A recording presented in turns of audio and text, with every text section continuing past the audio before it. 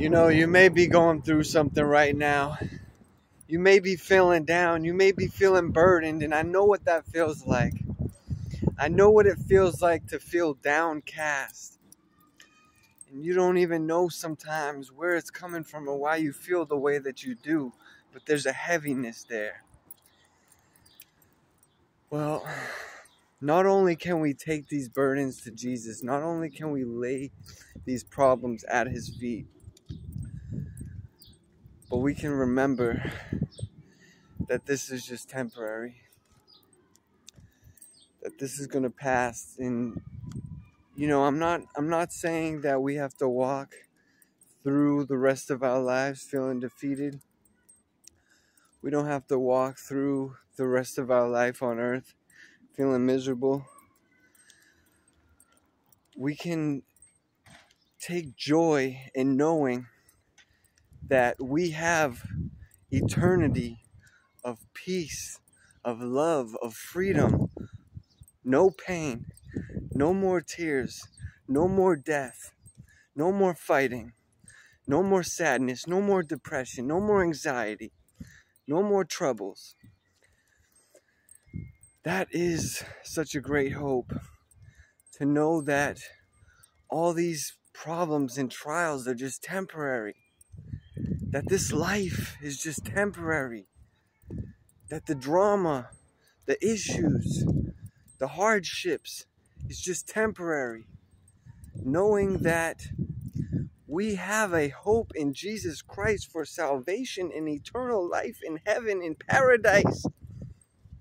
He said to the thief on the cross, who received him as king, who received him as savior, who said, Jesus, I receive you.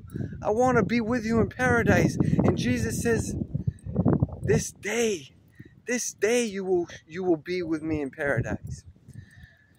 That is such a great promise. That is such a great hope for us as followers of Christ, as sons of God, as daughters of God, as the bride of Christ. That is such a great hope for us. That all this trouble on earth, all these painful circumstances, all these ill feelings is going to come to an end one day. That is something to rejoice in. That is something to look forward to. So you may be going through something like we do on a regular basis. We may be going through something right now. We may be feeling some type of way right now. But I encourage you through all the noise, I encourage you to keep holding on to hope, to keep trusting in Jesus Christ, to keep pressing on and persevering, to keep going strong and believing for good. God is with you. May Jesus be with you always. If you don't know Jesus Christ as your Lord and Savior, may you accept Him as Lord and Savior. So you too can have a, have a paradise to look forward to when you pass from this earth. And may love fill your life. May peace fill your life. May joy fill your life. May the fruits of the Spirit grow in your life. May your family be blessed. May your church be blessed. May you be blessed. May your friends be blessed. May the people around you be blessed. May your house be blessed. Because God is so good. Never forget that.